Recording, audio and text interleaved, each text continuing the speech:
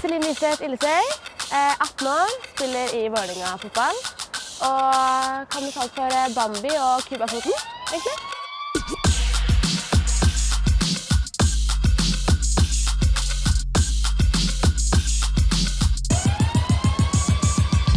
Men eh, håret Jeg spiller mye på håret, jeg. Ja, du gjør det. liksom, hvis man sier Selina, ja, det er hun med håret, da.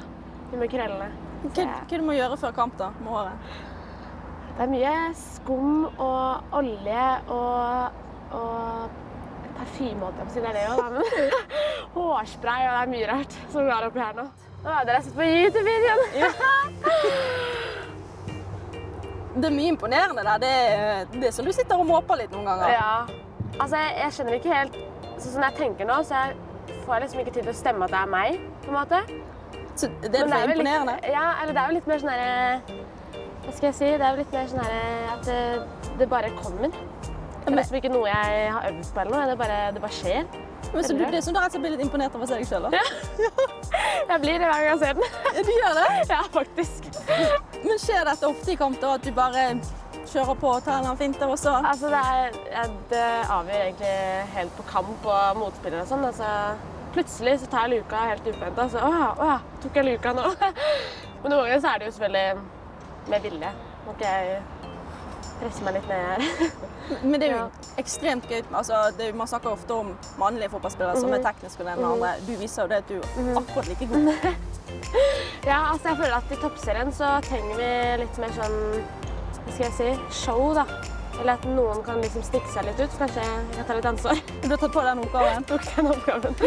Litt sambafotball i, i toppserien. Det står, det står Cuba-foten for. Ah, jeg tror det, faktisk. Ja. Nå har du tatt ut på landslaget for første gang, så du har jo tydeligvis gjort noe riktig, da. Ja.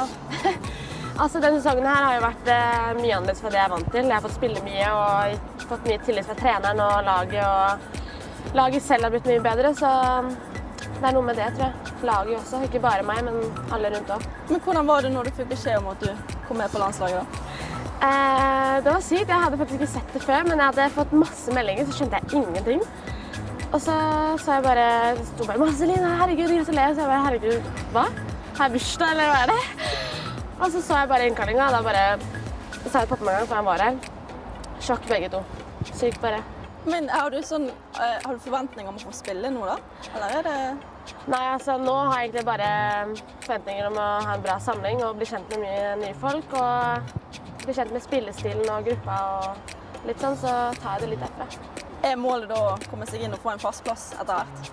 Ja, en gang så er det jo det. Det er det alle drømmer om. Det er ikke bare å sitte på benken og se på de andre, men å være med ut og spille sjøl og avgjøre og ja. Ja, for vi har jo lagt merke til at du er jo en liten Insta-babe.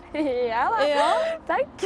Ja, du, du er fan av Instagram. Ja, eller jeg satser litt på Insta for å få en liten framtid, kanskje. Nei, altså Bilder og det er alltid hvis han er oppe, så er jeg pappa, mamma, venner, nå må ta bilde av meg nå. Ta bilde av meg nå. Nei, jeg ser bra ut nå.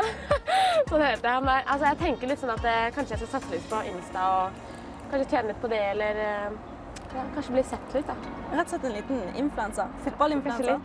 Men det er, jo, det, er jo, det er jo viktig, da. Det er jo, du ser jo Instagram, det er jo helt ekstremt mange som ja, ja. tjener penger og har bygget en karriere der. Ja, ja, altså Sånn i mine drømmer, holdt jeg på å si, så hadde det vært kjempefint å bare spille fotball og være på Insta, liksom. Og tjene penger på det. Hvorfor ikke? Så ferdig på trening og rett inn på Insta og ta noen bilder. Og... Ja. Men jeg må jo selvfølgelig tenke på utdanning av det. Jeg må ikke bli helt uh, blind. Takk for at du så denne videoen. Vi håper du likte den, og hvis du gjorde det, kanskje du liker denne, eller denne òg. Ja, og Husk å subscribe for å få videoer som dette i feeden din hver dag.